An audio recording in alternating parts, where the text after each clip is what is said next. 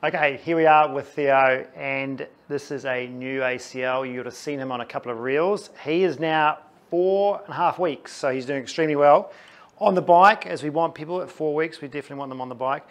Little thing about this, his range is actually really good. So he's getting about 120 degrees today. So at four and a half weeks, he's already at 120, which is awesome. Thing about the bike, drop that one down Theo, is you need about 110, okay? 100 is usually not enough, about 110 degrees at the knee to get on a bike. Otherwise, you're gonna be hitching at the hip. So if he comes up into this position here, and listen, to the first sort of week sort of two and three, he could only sort of get to about here because he only had sort of 90 degrees, right? So you couldn't get a full revolution and you don't want to get a full revolution if you're going to sort of like lift the hip up to get the knee around. So you really want to go, when you're on the bike at around about the week three, is forward and back and forward and back until eventually you get enough range in the knee that it actually goes around. And one day for him it just went boom, went around. So if you look at him here, where's the thing here? He's sitting around, you know, at this sort of point here, quite high. Okay, so he's sitting at the 120 degrees, which is enough to get him around. But you know, with the seat a little bit high, you could probably get 110. So with this one for him, it's really easy. And if you go through a revolution for me, he's doing this with ease. And the good thing about this is, think of how many knee bends he's getting per minute, okay, which is a lot more than the stretching he was doing before. So this sort of thing is awesome for him to try and work on his flexion because his extension is fine, right? And with this, you're going to get a lot of knee nourishment, you're going to get a lot of conditioning, and it just really helps out the process. So every time he is in the gym or doing his exercises, he is on the bike 15, 20 minutes, that sort of thing. And obviously when he gets fitter and stronger, the resistance can increase through a bit of quads conditioning as well. So this one is more about range of movement and conditioning of the knee, all right, for walking and things like that. It's not really about massive strength at the moment because we're still waiting for a few more weeks for healing before we really load it up. But this is a really nice one for him to free the knee up, make it feel better, and help him do his exercises straight after. So let's look at his first ones. Now, we're working on one-legged balance for quite a few weeks with Theo. We're also working on two-legged balance on the Bosu. Now, his one-legged balance is a very crucial step for him to get absolutely right thing about Theo, the interesting thing about his is he's got two ACLs, all right? Meaning he's had surgery on that 10 years ago for ruptured ACL, plus he's had another two surgeries for meniscal tears. This one is fresh, four and a half weeks, all right? Um, they both happened because his knee rolled inwards, all right? Now, we've discovered on Theo, like, you know, why are you getting these ACLs happening all the time? This might be, for those people out there who are having recurrent ACLs, a lot of it is to do about the hip control, okay? So he's had a lifetime of rubbish glutes, okay? And so whenever he's been playing sport, playing soccer, his knees rolling quite a bit. So from now on, because we want to work on strengthening this up, we want to work on injury prevention. We don't want this happening again. He's going to go back and play soccer again. We don't want this happening again.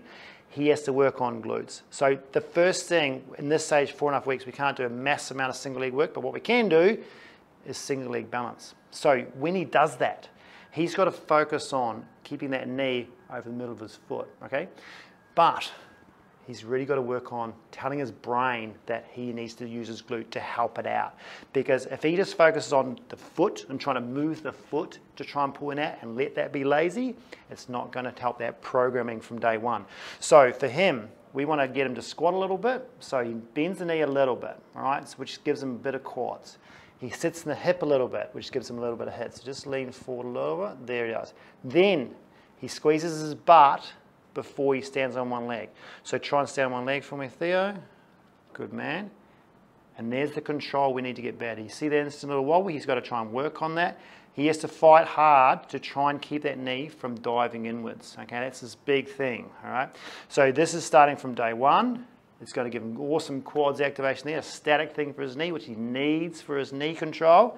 But the biggest thing is that hip control. So he's constantly telling his brain, squeeze my buttock, squeeze my buttock, externally rotate, externally rotate through there while he's doing it. He's not just standing on one leg with a straight knee. He's being active and he's got being very purposeful about what's happening here. Obviously, a mirror in front of you is going to really help with that alignment. Okay, so that's a really crucial one for him. He's going to go through for the next rest of that program focusing on hip control with his rehab. It is going to be a massive component for him to improve that and for injury prevention down the track. Now let's look at two-legged balance on a BOSU. Okay, so when you step on a Bosu with two legs, it's that good leg on first, or the non-surgical leg, and then this leg. Now he can do that pretty well. He's got a pole to help him, which is awesome. Now with this one, what you're trying to do is, is a lot of it is about feedback. Yes, conditioning, keeping your knee out. Can you see the shaking going on? That's your brain with a bit of weakness, but also trying to work out how to do this. Remember, this knee does not have a normal original ACL. It's lost the information from a normal ligament that goes to the brain to tell about joint space and joint awareness, okay? He's got a new one in there that hasn't got that stuff in there at the moment. So he has to learn externally from muscles and from visual and from balance and from the other leg to try and improve that. So it's very important that we get people on an unstable surface, safe, supported as he it, to try and keep that balance going and improve that awareness. It's just time and repetition trying to hold that. Now that's about one minute at a time. It's going to be five or six of those. And that will turn into a squat on a Bosu as well. So it's very important that we get used to this environment. We're going to use the Bosu a lot, and that's going to replicate unstable surfaces, which is life. So the sort of it can start here as long as it's two leg in four weeks, and you can finally see he's doing he's stabilizing well, he's working well with that. Okay. So obviously with Theo, he's had hamstring surgery because he's taken a hamstring graft on the medial side for his ACL. So he needs to also work on hamstring training, all right? Not just knee flexion and quads and glutes and balance and all that sort of thing. He needs to work on specifically hamstring stuff, all right? And even with someone who has not had a hamstring graft, they still need to work on it because it helps protect the ACL. So with this one, his obviously his range, he's all, already active at sort of 90 degrees. Today I can get him to about 120, okay? He gets a bit tight there. Some of that's quad, some of that's knee for this exercise, this is called hamstring flicks. So he is trying to be like a metronome, if you like. He's going to try and go from as high as he can to about sort of 40 degrees out that way. And he's going to go back to that high as he can. And he's trying to do it as a very rigid metronome type movement. He's trying to create body awareness of the knee, but he's also trying to get the hamstring firing and trying to do a job of slowing the knee down and stopping and then coming up in concentric and then going down and stopping eccentrically. So this one is this first one is from 90 degrees up. So go from there, where you go for me, Theo. Now you'll notice with this one, it's quite slow. This is about as quick as you can get because his firing rate is not very fast with this. But this will build and build and build and he'll get better and faster and faster and faster with it, which is going to help him down the track. But it's also really good light hamstring loading. The hamstring at this stage, voice can tolerate this well, we just don't want to put any load on it. There's no, there's no bands, there's no weight machines, there's nothing. It's just his body weight. Um, and this is going to significantly help him with his hamstring. The other thing you got to work on is making sure he is dorsiflex when you do it, okay? And that sort of just really helps out that movement at the knee. This is a lot harder. I would stay in this position here, okay? So he needs to try and go up as high as he can go, up, back, up, back, up, back, up, back. Now the thing about this is if he goes to his limit all time without overcooking it, he gets some strengthening in here because this part here, that tightness there is like a handbrake for the hamstring. So it's like weights, if you like, for the hamstring. So he's getting some extra strengthening rather than just sitting out here where there's no resistance, okay? If he gets to the resistance part without overdoing it, then he will also get a bit of knee flexion stretch, okay? But the quads deactivation, if you like, so that reciprocal inhibition of the quads when he uses hamstring is going to help him release his quads and get his flexion better. So this is a, sort of a dual purpose one. It's not just for the hammy and firing and timing. It's also to help try and release the quad and get that knee into flexion more, which is part of how it gets looser. The other range is down here. So he's going to go from sort of right in that outer range hamstring up to about where he left the other one. So about sort of 40, 45 degrees. So He's not allowed to tap the floor. Again, the same sort of style. So try and do that for me, Theo. Okay, and you can see what happens this whole leg sort of shakes around a little bit. What I want him to do though is tell his brain, squeeze your glute while you're doing it. Okay, just to help the process a little bit more. So he's spending more time on thinking, okay, I need to have my glute part of the family here. I need this involved, all right? Not just being lazy and doing nothing. If you can switch that on and give him some stability up in the hip, and make that part of the sort of hamstring movement, then you're going to do a lot better with the hip control stuff down the track as well. Okay, last one for the day again, is a hamstring one.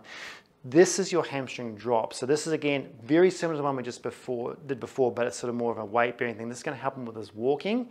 Now, when he stands on his right leg, and the thing about him when he's, he's standing right leg for me, good. Now, he's again trying to come up as high as he can go, but it's all the way down. He's going to quickly come down and meet his other foot at that point there, and then launch back up again. So he's doing hamstring curls if you like, just body weight active but he's coming down as quick as he can without injuring the hamstring, and he's got to try and meet that line. So try that for me, Theo. That's it. Good. Now, what I try and tell people is think of that line there. You can imagine like a wall. You're going to kick a wall, but you're not allowed to stub your toe.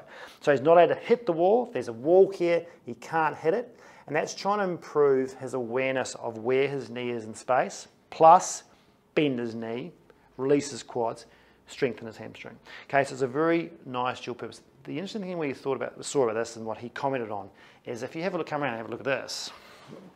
Well, just, just face around that way for me, Theo when he stood on his right leg, and we talked about the glute not being very strong and why he maybe busted his ACLs in the first place, is when he stood on his right leg, he tended to lean over this way. So he tended to lean his body weight over.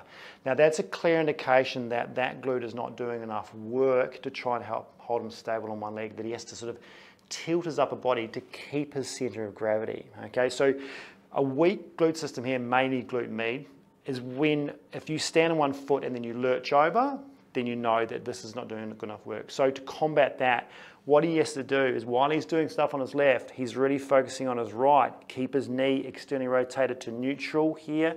Don't let it internally rotate like the old habits. Keep it out here. And to keep that out there, keep his buttocks squeezed in external rotation. You see squeezing outwards. Then he stands on one leg. So do that for me. Good. So yes, yeah, that's it. Has to hold on a little bit. Okay, and in time, that'll get better. All right, so that's part of the process. And what we'll get him doing is doing the same thing on that leg, bending this knee, so he's getting both on each side. So that's him for this week. We'll go through a squat and his deadlift next week.